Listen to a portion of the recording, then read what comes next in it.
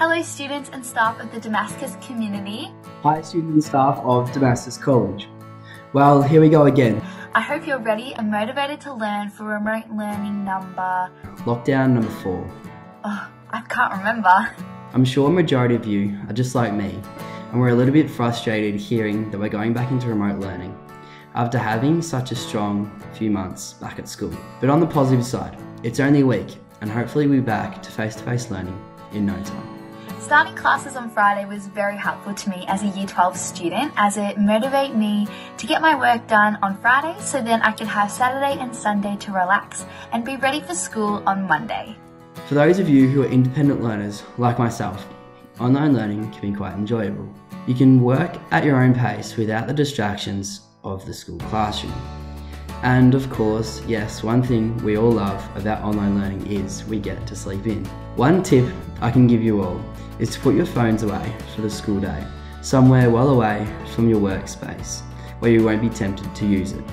As I promise you, you'll be way more productive and get a lot more work done without having your phone nearby. This time during remote learning, I think I'm going to try and do more things for myself, such as going for a walk or spending time with my family by watching a movie, and do these times during my breaks. So then when I do come back to the laptop screen, I'll be motivated to learn and be ready to do my work when I need to. And yes, masks are back, sadly. Make sure to wear them whenever you leave your house to make sure that everyone stays safe and healthy. Alright, I've got some quick study tips for you guys on remote learning, um, so you'll be motivated to do what you have to do. First off, print the remote learning study checklist. This is a great habit to get started into so you can make sure that you're prepared, that you're in your uniform, you have online equity, you've got a good learning space environment, and you get what you need to get done, and also, most importantly, feel supported. Another quick tip I have is to make a daily schedule. I do this and I give this tip to everyone I know. It's because it motivates you to get what you have to get done. So you write out what subjects, what you have to do, and also put in the times that you have the breaks and what you're going to do in those breaks. And when you've done something, tick or cross it off as it makes it feel like you've achieved something for the day.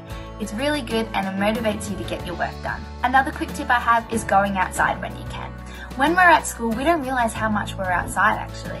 So when we're stuck at home inside, when you can, on your breaks, go outside for a walk, go throw the ball for your dog, or even just jump on your trampoline if you have one. Lastly, my number one tip is to feel supported during these difficult times. When you can, reach out to your teachers if you have any questions about the work or reach out to your fellow peer members. They're in your class for a reason, so even if you're stuck at home with no one, reach out to them.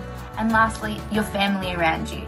No, your mum and dad might not know how to do some math equation, but they are there to support you. So when you can, reach out, even if it's asking for a hot chocolate or cup of tea when you can. Try your best to enjoy this hopefully short and sharp week of online learning.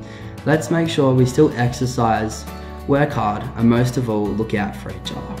Remember to keep in contact regularly with your subject teachers, TA teachers, and most importantly, each other during this time. Let's keep a positive mindset through this time, and I'm sure we'll be able to pull through easily. Well, on the bright side, at least this time, hopefully it's only a week and not a few months.